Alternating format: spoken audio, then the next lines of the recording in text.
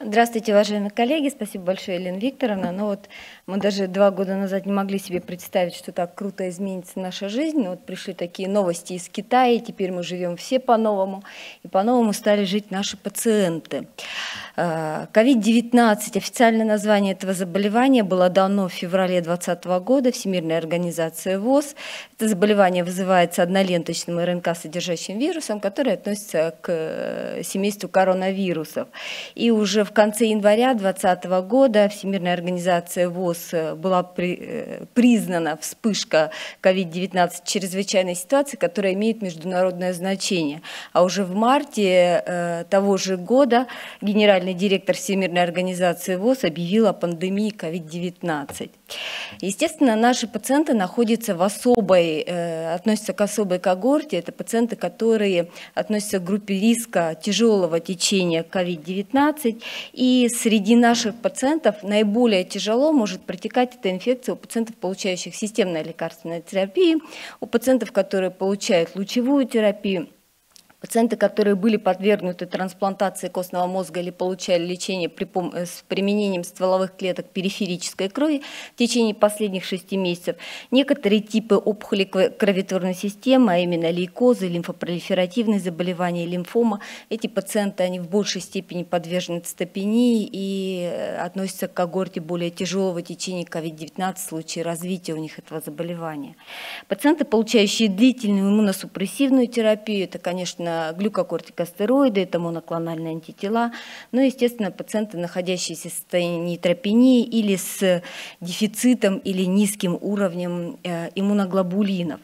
Э, Все это осложняется еще и тем, что у наших пациентов нежелательно и вообще фактически нельзя прерывать начатый курс терапии и каким-либо образом существенно изменять объем лечебных и диагностических манипуляций.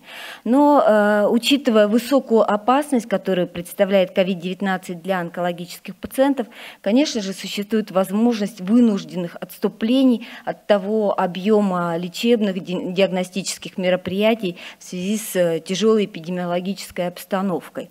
Что мы можем организационно прежде всего предложить нашим больным?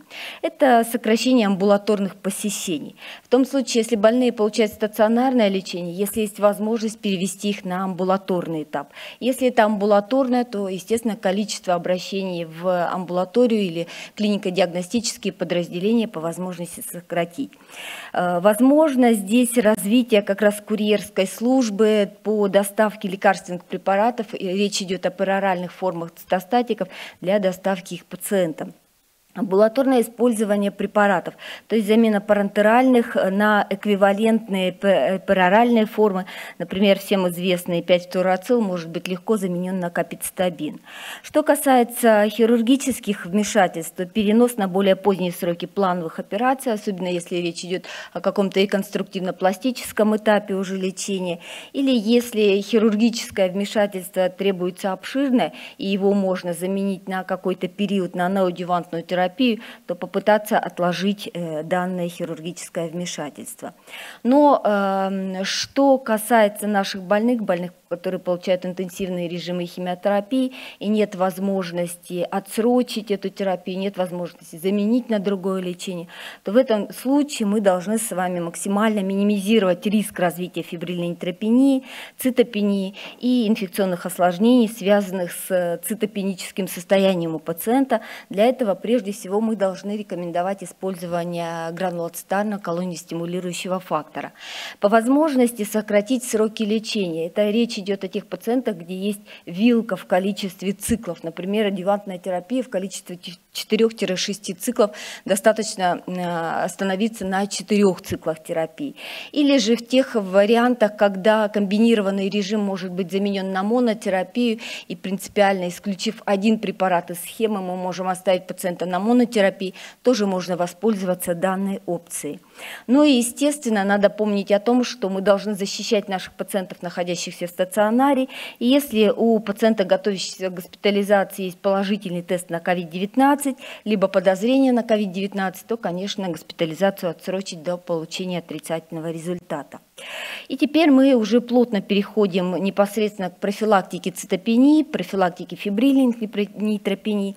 Это первичная и вторичная. О первичной профилактике мы говорим в том случае, если используются высоко милоаблативные режимы химиотерапии с риском развития фибрильной нейтропении 20% и выше. Если это не столь милотоксичные режимы, то есть риск развития менее 20%, но это пациенты старшей возрастной группы или имеющие факторы риска развития фибрильной нейтропении. О вторичной профилактике мы говорим в том случае, если у пациента было уже как минимум два эпизода отсрочки начала очередного цикла в силу развития глубокой цитопении или было два как минимум эпизода редуцирования доз цитостатика в связи с гематологической токсичностью. Ну, либо однократная та или другая ситуация по редукции дозы или же по отсрочке начала, но в том случае, если крайне нежелательно э, снижение доз препаратов. Это речь идет о неодевантной терапии, коротком лечении, но интенсивном лечении, когда мы должны подготовить пациента для хирургов для выполнения хирургического вмешательства, когда речь идет о радикальном хирургическом, химиолучевом лечении и когда мы лечим э, опухоли, которые высоко чувствительны к лекарственному лечению. Ну и, естественно, наличие фибрилля нейтропении на предыдущих циклах химиотерапии. Вот здесь представлены данные о больных раком молочной железы, причем практически все режимы, которые используются для лечения рака молочной железы, они относятся к категории высоко гематологически токсичны. Так вот, если не проводить э, профилактику колоний стимулирующими факторами, то развитие нейтропении 3-4 степени наблюдается в 100%. Если проводить введение колоний стимулирующих факторов, то в 10 раз меньше частота развития нейтропении 3-4 степени. Что касается фибрильной нейтропении у этой когорты больных, то риск развития нейтропении составляет порядка 6-7%. При применении же препаратов колонистимулирующего э, ряда риск снижается менее 1%. И это позволяет, а, здесь речь идет о пролонгированных препаратах, и это позволяет эффективно и безопасно снизить частоту э, нейтропении 3-4 степени, фибрильных нейтропений у пациенток с э, раком молочной железы. Что это такое колонистимулирующий фактор? Это только сопроводительная и поддерживающая терапия? На самом деле нет. Это борьба за спокойствие и в какой-то степени за финансовые составляющие. Профилактика фибрильной трепении, значит, не потребуется госпитализация, не потребуется назначение антибактериальной терапии и других сопутствующих препаратов. Это пассивное улучшение результатов лечения, поскольку это профилактика от инфекционных осложнений, тем самым летального исхода. Это поддержка дозовой интенсивности стандартов терапии и это активное улучшение результатов лечения, поскольку мы соблюдаем плотность дозы, интенсивность дозы. Это позволяет нам достичь значимых эффектов. Здесь представлены э, режимы химиотерапии, обязательное применение колонистимулирующих факторов. Вот видите, там, где риск фибрильной нейтропении более 20%, это практически все платиносодержащие режимы, антрациклин содержащие режим. То есть это режимы, которые мы используем при лечении фактически любой злокачественной солидной опухоли. Ну и э, возможно использование в тех опциях, когда риск от 10 до 20%, тоже посмотрите, это различные различные группы препаратов при э, самом различном количестве солидных новообразований.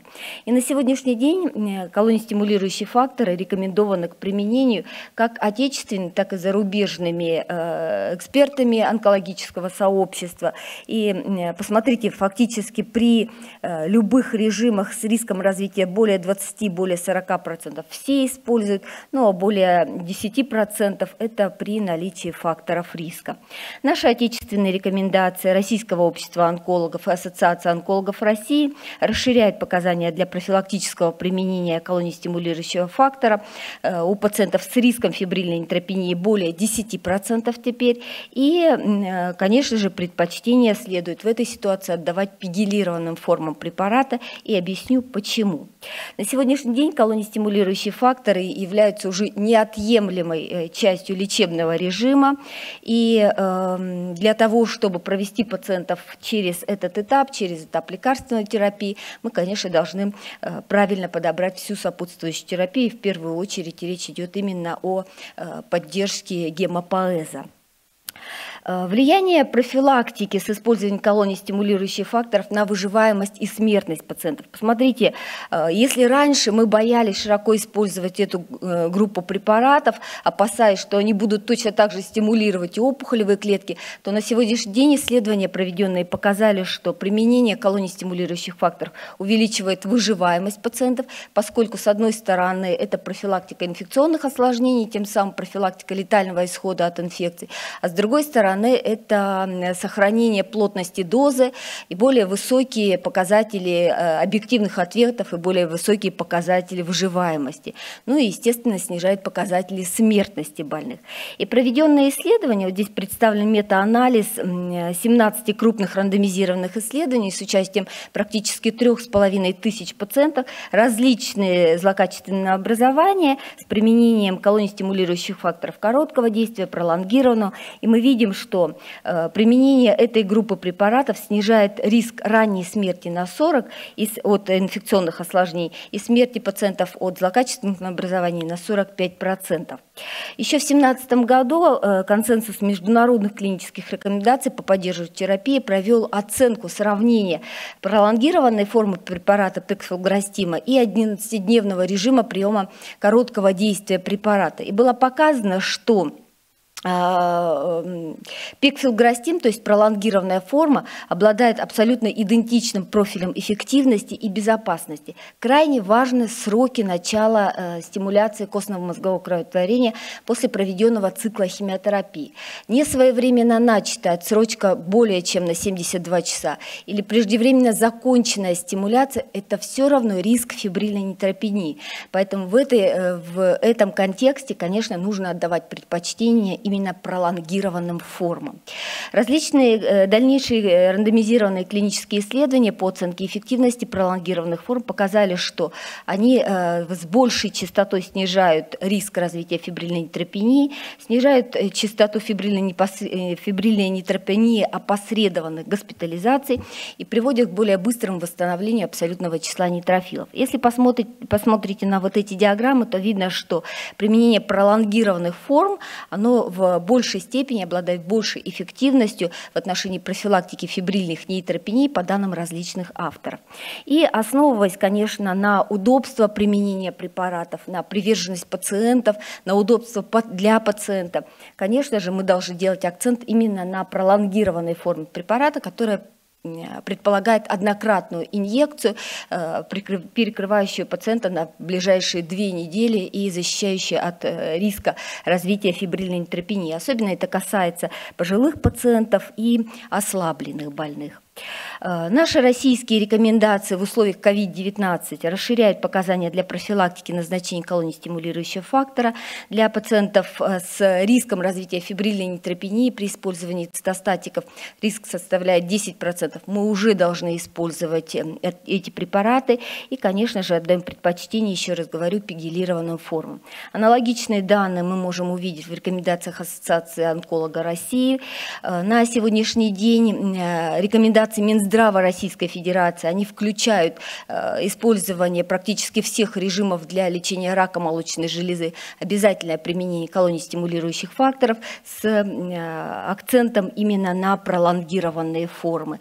Ну и клинические рекомендации РУСКО, они тоже нам говорят о том, что, конечно, обязательное использование колоний стимулирующего фактора и именно пролонгированные формы выходят на первый э, ряд. Если в целом резюмировать, как нам помочь нашим пациентам в условиях пандемии избежать всех осложнений, прежде всего речь идет о цитопении, связанных с этим фибрильной нейтропении, связанных с этим инфекционных осложнений, то, конечно, расширены показания для использования гранулоцитарных колоний стимулирующих факторов для режимов химиотерапии с риском развития фибрильной нейтропении более 10%. Это обеспечивает минимальную продолжительность пребывания пациента в стационаре, уменьшает количество амбулаторных посещений, посещений. Уменьшается вероятность развития фибрильных нейтропений, способных увеличить число госпитализаций в круглосуточные стационары и применение, соответственно, антимикробной терапии в условиях пандемии COVID-19 и тем самым снижает частоту летальных исходов. И, конечно же, рекомендовано использование именно пролонгированных форм, принимая во внимание э, уникальность механизма действия этих препаратов. Э, а, достаточно большой обзор по оценке эффективности пролонгированных форм колоний стимулирующих факторов э, тоже нам говорит о том, что иностранные коллеги, что применение пролонгированных форм – это эффективный и одобренный подход для снижения риска фибрильной нейтрохопении и сохранения дозовой интенсивности лечения. При назначении первичной профилактики требуется руководствоваться принципами. Это режим химиотерапии, который позволяет нам определить, есть риск фибрильной нейтрохопении или нет. Индивидуально оценивать факторы риска у пациента. Ну и, конечно же, в условиях пандемии COVID-19 э, рациональ... обращаю ваше внимание еще раз на рациональность использования именно пролонгированных форм препарата. Ну и надо помнить о том, что успешность лечения, она э, всегда э, стоит у баланса эффективности, требует баланса эффективности и безопасности. Спасибо за внимание.